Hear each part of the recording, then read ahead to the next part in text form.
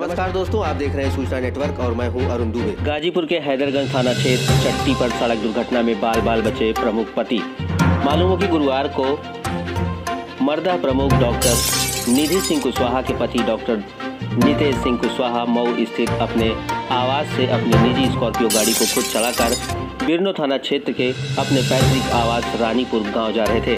दोपहर लगभग 12 बजे के करीब गोरखपुर, वाराणसी राष्ट्रीय राजमार्ग पर स्थित हैदरगंज चढ़ते ही कि सामने से ट्रक ने जोरदार टक्कर मार दी। टक्कर होने के पश्चात चालक ट्रक सहित मौके से फरार हो गया।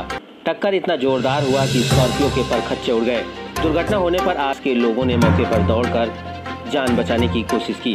घायल अवस्था में प्रमुख पति डॉक्टर नितिन कुशवाहा को दूसरे वाहन से इलाज के लिए मऊ स्थित निजी अस्पताल में भर्ती कराया गया, जहाँ इलाज चल रहा है। फिर पुलिस को मिलते ही मौके पर ट्रक चालक सहित ट्रक को कब्जे में ले लिया गया। इधर इस घटना की जानकारी होने पर क्षेत्र में हलचल